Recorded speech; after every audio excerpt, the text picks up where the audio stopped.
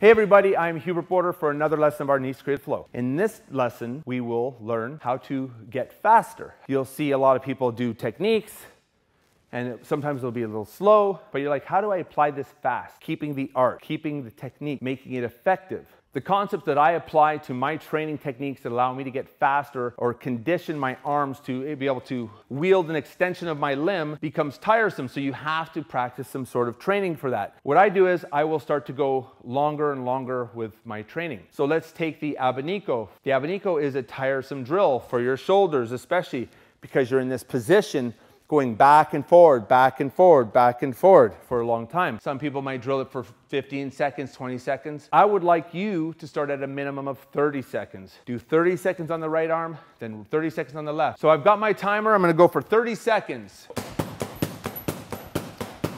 And I just start off easy in the beginning. And I don't move, I keep it static.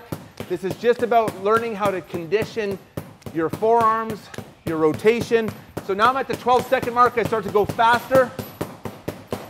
I'm at the five second mark, I go faster.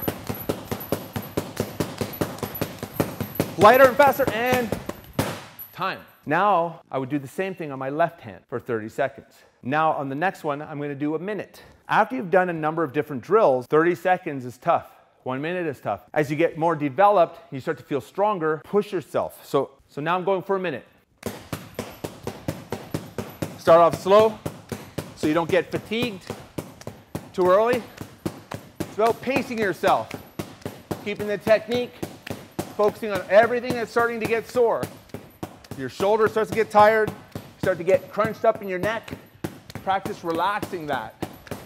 Your hand is checking, you're breathing, you're relaxed. So now I'm at the halfway mark. I'll go a little bit faster.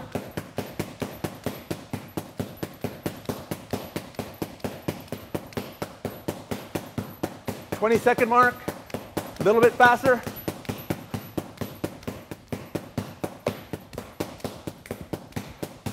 And you really try to turn it on at the end. 10 seconds. Oh, lose, don't, don't lose your technique. And time. So the next one, I'm gonna go beyond a minute. I would add three minutes, then five minutes. Then after that, I just go. And I'll use a heavier stick to begin with. And I'll go back and forward. I'll do heavy stick, almost like Kamagong, or a stick that's heavy, like Kamagong, which is ironwood, so that I have that weight, really making it challenging for me to go that long. So what that does is, when you pick up a lighter stick, it's gonna feel like a toothpick, and you will be able to go forever. So I'm gonna go until I get tired. My technique, I'm gonna try hard to keep it strong and tight together so I don't lose form and don't lose the art, because that is key in every martial art, is the technique and the art. Now it's no time. This is endless time. You might start to see me cramp up and get all messed up, start to walk like a stick zombie. Uh, we'll see. Ready? And go. And I'm just gonna go full speed on this one till I can't.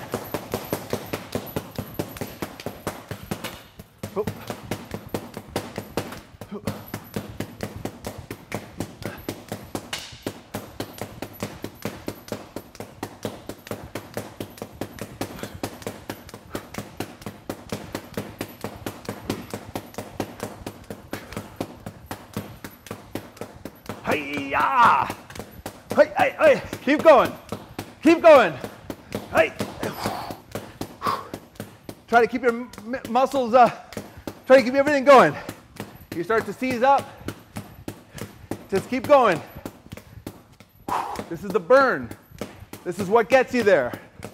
This is what breaks you. Then you can start to feel, I need to relax my shoulder. Try to go faster. It's in there. Ah and time. Had a little complication hitting that bag, but part of the training, you just deal with it. So with every drill or technique that I do, to get faster at it, I'll play with it slow, or I'll use a heavier stick, like let's say for backhand elastico, I'll just go through this, just to feel it. Especially with the heavier stick, you wanna start off slow, just so your forearms loosen up and get warmed up. Going too fast right away with a heavy stick, you can definitely strain something. So take it easy, build up, and just go over and over and over and over. Switch. Go over and over and over and over. And you want to go until your arm gets tired. So technically what I didn't show you here was once this arm gets tired, I immediately go to my left and I go right away. And I do the same thing depending on the time I'm doing. If it's 30 seconds, I'll go right away 30 seconds. One minute, one minute, three, three, five, five. And then I just go endless, endless. And I'll use a heavy stick to begin with. And then I'll do some of the drills with a lighter stick to see how much of improvement I've made. That's how you work on speed. But as you're working on speed, don't sacrifice your accuracy. Don't sacrifice your form. Don't sacrifice the art. That is key to your success with how you apply Filipino martial arts and Arnis Creative Flow. I'm Hubert Boorder. I hope you enjoyed this lesson. Hit subscribe, hit thumbs up, activate that little bell so you know when my next video comes up. Thanks very much and see you on the next one.